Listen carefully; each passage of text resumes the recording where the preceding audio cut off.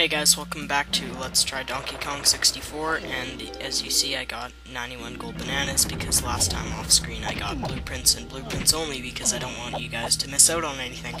Anyways, in this part we're going to be starting off the catacombs of Creepy Castle, which are below Creepy Castle, and then basically there's two sections to this area of the catacombs. Uh, there is this place, which leads down to underground chambers where you get things achieved with Diddy, Chunky, and Donkey Kong, and across from it there's like this stairwell shaft place that goes to Tiny and Lanky's locations.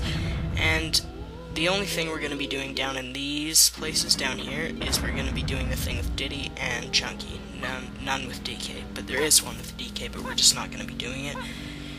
But yeah. Okay, so anyways, uh, with that said, um, gonna start this off. Diddy's is at the lowest places, and there are warp pads here, which saves you the trouble of walking the whole way. So, yeah. Um, get out the peanut popping guns, uh, shoot this switch, and so basically in this room there's only one, two, three, four switches, and you just have to hit them in order, and that's basically it, so it's pretty simple. Yeah, so basically here's the plan I have for Creepy Castle. I'm going to be finishing the catacombs first, and then I'm going to be moving up to the upper levels of the castle. And this whole thing will take me quite a few parts, and then the Let's Try is probably going to finally be over, because I, uh, I've been doing this one for a while, and quite honestly, uh, it's not really getting boring, to be honest. It's actually really fun, but still, uh, yeah, because I actually have. Um, we're not going to be going to the boss of this level because I actually haven't beaten the boss. This is as far as I've ever gotten in the game. Uh, except in my original file, I have like a hundred some gold bananas. So yeah, a lot of the, the gold bananas in this were kind of left out. This Let's Try was like that. It's not. I didn't really complete everything in it.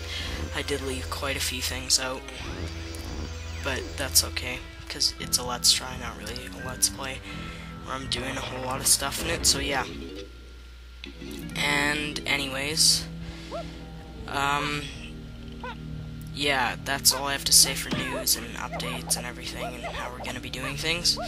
Uh, so yeah, got my new headset, uh, sounds really good. I actually, this is the, like, second time I've tried recording this commentary because the first time, the only problem I've had with this headset is the audio levels were out and it was quiet, the recording, so I just played around with those and it sounds good right now, so yeah. Seems like everything's cleared up with that, so this is going to be very useful to have for my videos. And yeah.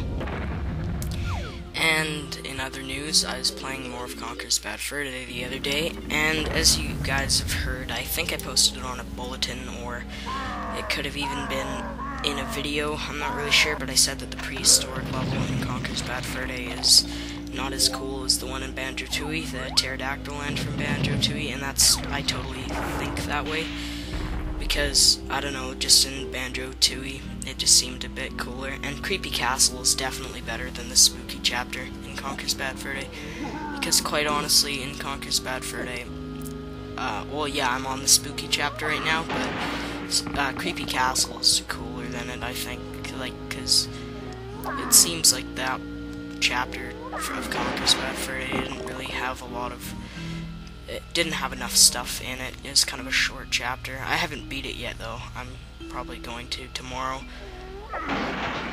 So, yeah. Uh, now this is the mini game, and as you see, it's a bad luck because I actually did fail at this quite a few times, to be honest, and I just kept the take where I did it right. Uh, it's not too hard, it's just that since Creepy Castle is one of the most advanced levels in the game, the mini games are gonna give you less time, and you have to hit more guys in the mini games and whatnot. You know, that's fine, but, eh, I don't know. It's like, it's not hard, but it's a little bit trickier than any of the other levels. Now there is a huge uh, minigame on this level that I'm sure most people that have played Donkey Kong 64 know about. In this level, Beaver Bother, which is, uh, I think it's called that, yeah, it's a minigame, goddamn, that's so hard. So many people have problems with that. I've personally never done it.